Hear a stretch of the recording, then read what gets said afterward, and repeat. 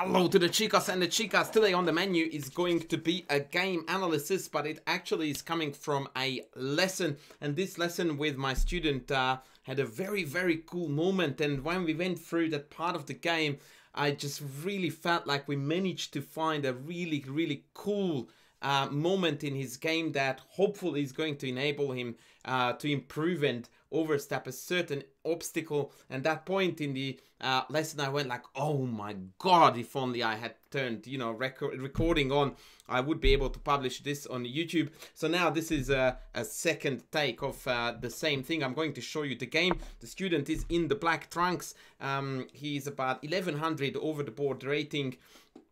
Um, and um, yeah, the opening actually went really, really nicely for us. And please note that student does tend to play rather passive chess every now and then. And so um, what we did in this opening from here on out, mwah, divine stuff. Check this out. C6, A5 was already great. C6, great. Knight takes back. Now black is, I think, doing perfectly fine already, if not better a4 came from the opponent, a very suspicious move, giving up the b4 square. Um, rook e8, good stuff.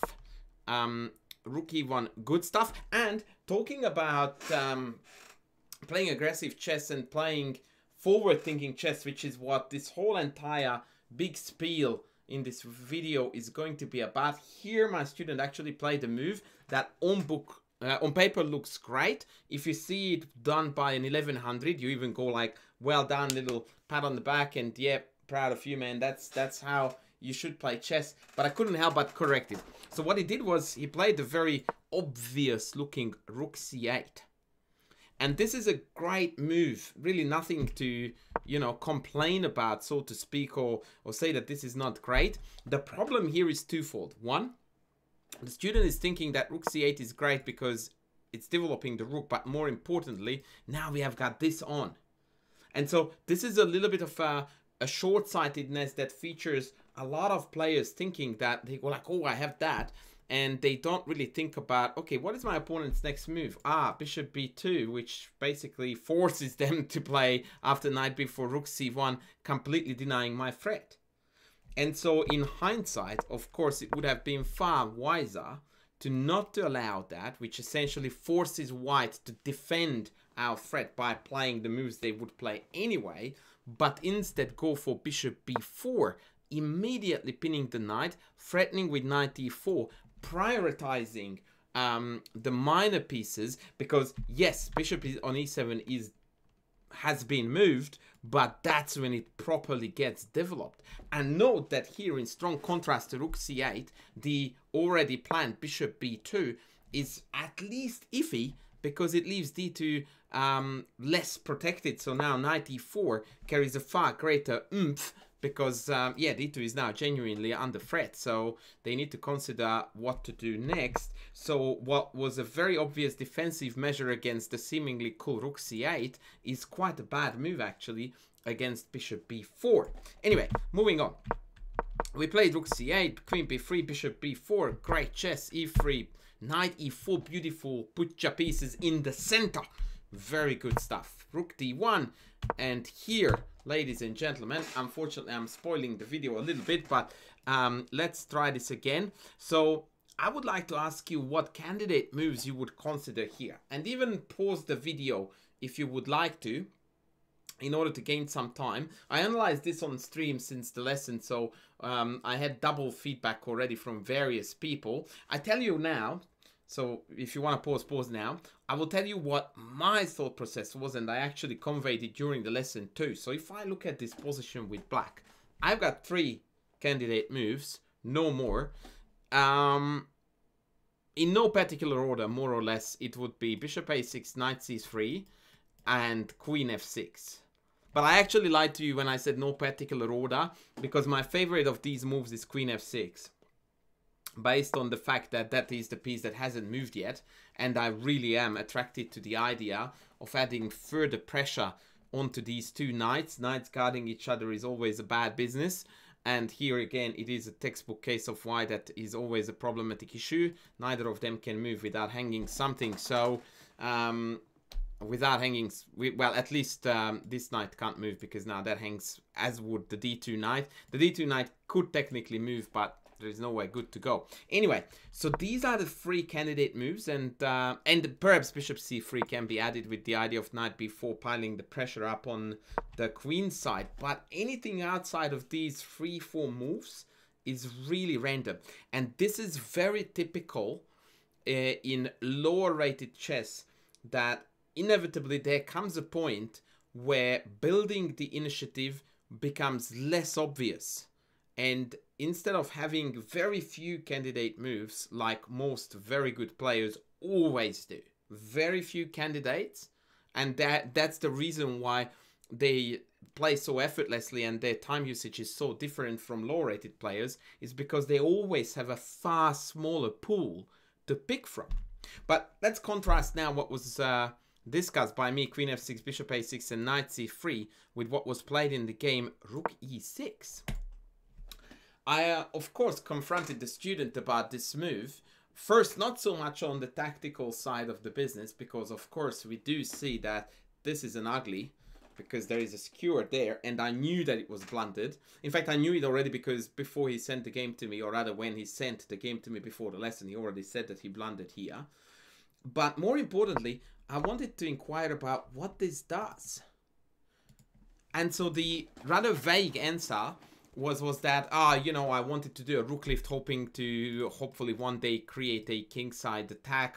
Um, and I'm like okay that's that's that's a reasonable explanation. How do we perceive that this kingside attack is going to develop? Oh well I, I I don't know. And I'm like okay so we don't we play a move but we don't have a plan. That should already be a tremendous red flag in your own head that you see a move that you want to play and you can't exactly explain to yourself how that particular move is going to fit into any upcoming plans. And when I say a plan, a kingside attack is not a plan. A plan is rook h6 followed by queen d7 followed by queen h5, uh, queen f5 followed by queen h5 and then mate. That's a plan. It's a really bad one and the mate part wasn't true, but that's a plan. That's a sequence of moves that I hope to execute if you play a move and when you ask yourself, okay, and what's the plan? And you can't back that up with a string of moves, at least two, unless the plan is a one mover, um, you're almost certainly making a very, very bad mistake. And that is the case here too. And of course, the plan that I highlighted with rook e6 and then bringing the queen across takes exactly 700 moves. And even then, we don't have any threats. But that's not what this lesson is was mostly about although this i think was a very fundamental learning. But the reason why i'm bringing this to your attention is is because um, here we played bishop a6 which is a huge blunder. Another good example by the way why the computer can often be misleading because of course people would think oh yeah of course because of this. Uh-uh. No. It's because of this. And if d then d5 wins the house because when I take the rook, even the queen will hang. So I can't take this because takes he hangs the queen. Thank you very much. And if I play the perhaps more logical rook takes e4, then multiple moves are going to hurt me after the take. Almost certainly it's going to be 95. I mean, it depends on what I take back on um, on b4. Actually, it might not even depend at all because I can come in here anyway and now we just fall apart in the in the center. And all of our pieces are just all over the shop. It's a really really awkward picture. Yeah it's it's no bueno. It's no bueno. But after bishop a, uh, a6 the opponent plays bishop h3 and student tells me i was busted. And i'm like okay that's interesting. I'm like what's what's the opponent's threat here? Just humor me for a sec. Oh, like the rooks are hanging. I'm like, okay. And that's it. And what's going to happen after? Oh, I'm just down an exchange. I'm like, right, let's have a look at this. So we played knight c3. I'm like, very good. Let's turn on the aggro. Bishop takes e6. Pawn takes e6. Rook e1. And I go again to the student with the question of, so tell me, man, what's going on here? And we go like, well, I'm down an exchange. I've got nothing. Uh, I'm losing. I'm like, okay, that's interesting. So let me just um, get this straight.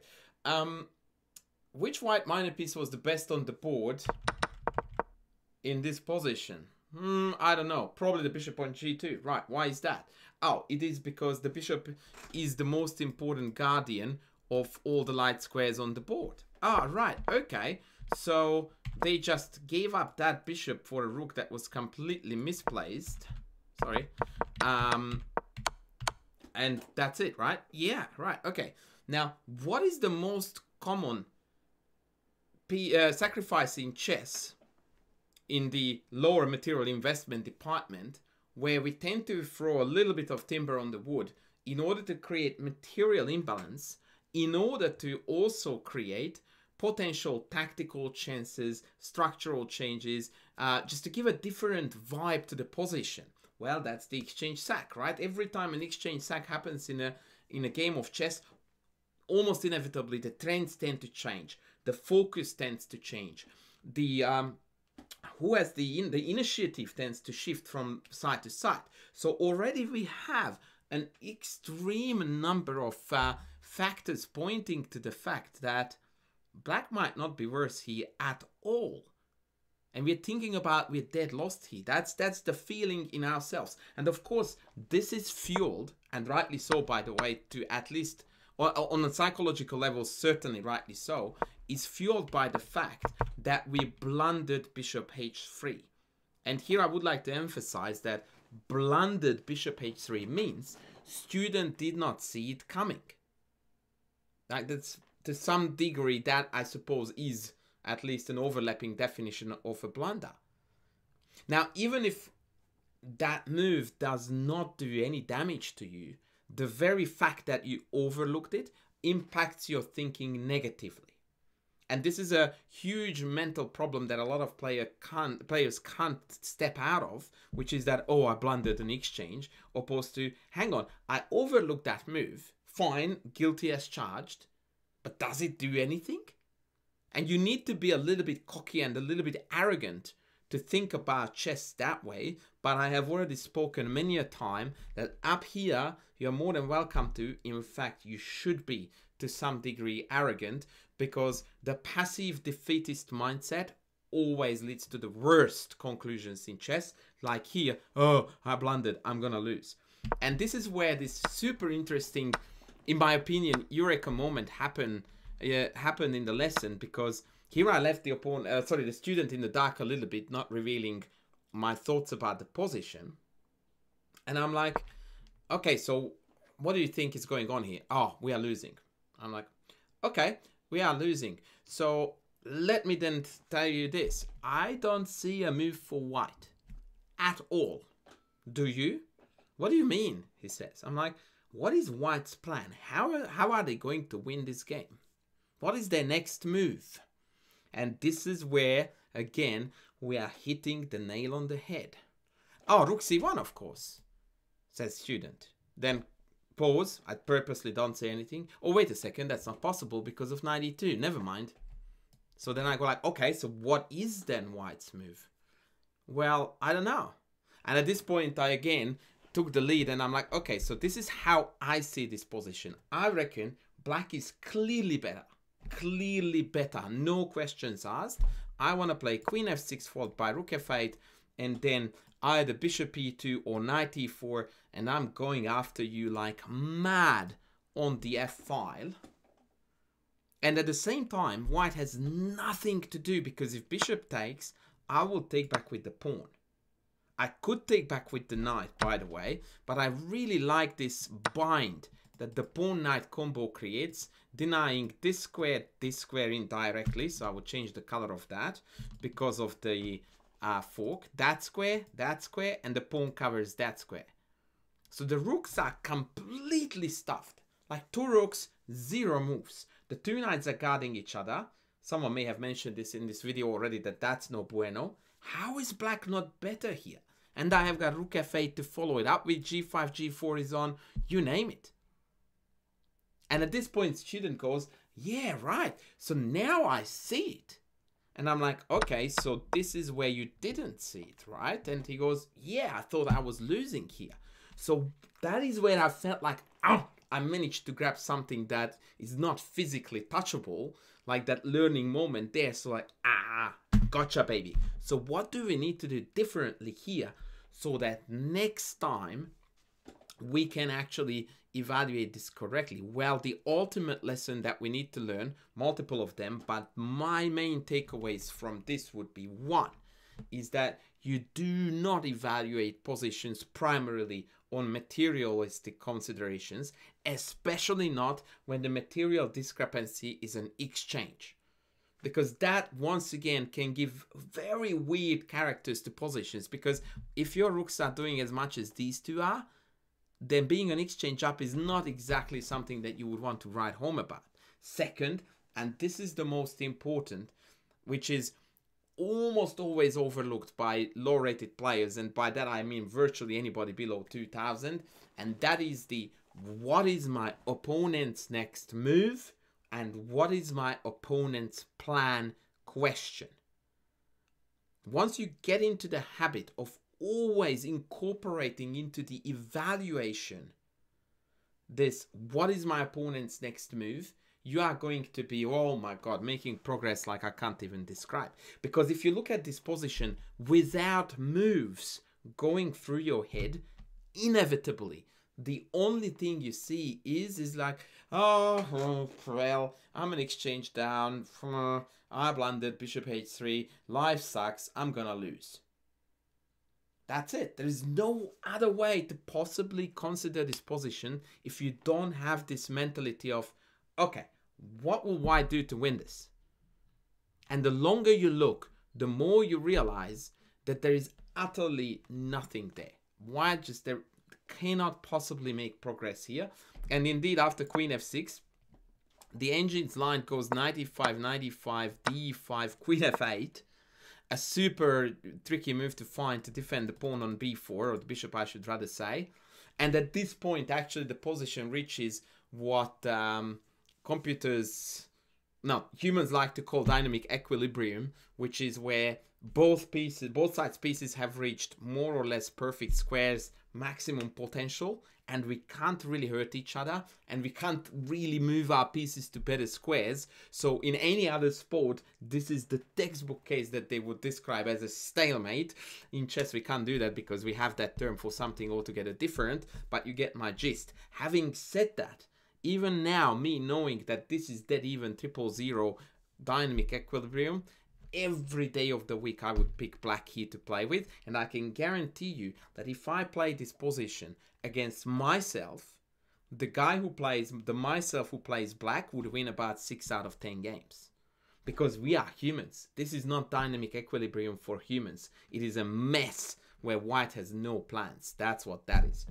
And so yeah this was a very very instructive moment and I hope that you guys appreciate uh, what I'm trying to convey here that do not stop here, man. Like, yeah, okay, drop an exchange. Worst things happen in chess. Have a look a little bit deeper. What are the consequences? Open F file, weak king. No obvious plan for white, which of course is the number one argument there. But whichever way you put it, you realize that we can't possibly evaluate a position without clearly envisioning what our opponent is about to do to us. Because once we see that, then we, it's fair and square. Like, yeah, okay, so rook c1, rook c3 can't stop it, we lose. Yeah, that's an example. Not doable because of 92, but then I have something, you know, to consider and then evaluate. As is, the situation remains that white has nothing here, a very instructive position, by the way, in this regard, and black is perfectly fine. And when students saw this position, he thought he was dead lost when I showed him this position with, uh, sorry, rook e1, queen f6, played a pass, rook f8, he also got convinced after a while that, yeah, bugger, that's insane. And that, ladies and gentlemen, was the lesson for us for today in the amateur's mind. Um, I would just as a side note, I would like to mention that the channel has reached 30,000 subscribers. So that's, I suppose, a great news. Um, only 70 more to go to get to the dream 100k. I might make an extra celebratory video about 30k. I don't know. We'll see how we go. But in the meantime, please Uh, don't forget to leave a comment, smash the like button, please sub if you haven't done so yet. And I'm going to see you in the next video. Thanks for watching. Bye.